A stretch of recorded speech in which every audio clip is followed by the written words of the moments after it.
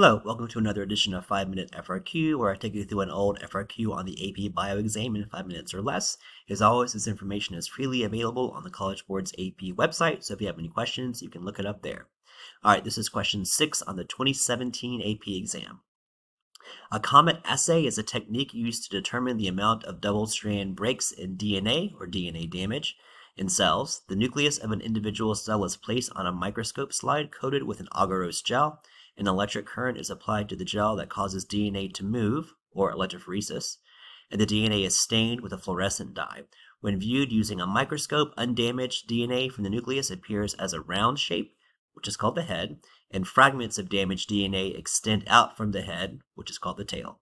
The length of the tail corresponds to the amount of damage in the DNA, see figure 1. So before we even look at the question, so this is basically a version of gel electrophoresis. Um, if you look at the top, you can see that I have a cell with DNA damage and I have it on an electrophoresis gel, currents going through it, and the, the DNA is migrating toward the positive end because as you hopefully know, DNA has a negative charge. So let's look at the questions. Part A, to explain the movement of DNA fragments in the Comet assay, identify one property of DNA and provide reasoning to support how the property contributes to the movement during the Comet assay technique.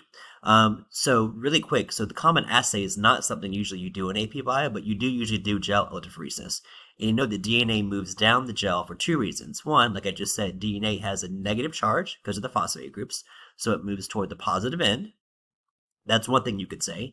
You could also say that um, the the distance the DNA travels is proportional to the size. Smaller fragments go further because they get through the gel faster.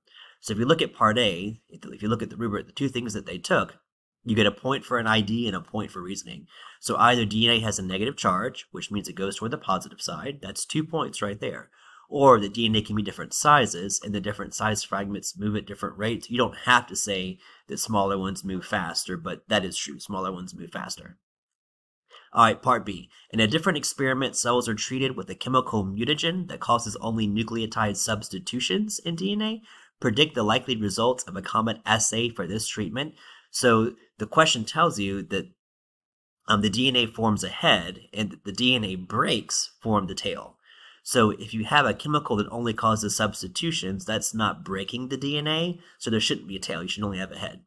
And if you look at what they took, they took the prediction either that you'd have a, a head only or a head with no tail. They also accepted that you would have a shorter tail. Um, if you have no breaks, really, you'd have no tail at all. But they did accept that you would have a tail that would be shorter than a tail of DNA that had double-stranded breaks. Okay, hope that was helpful, and I will see you guys next time.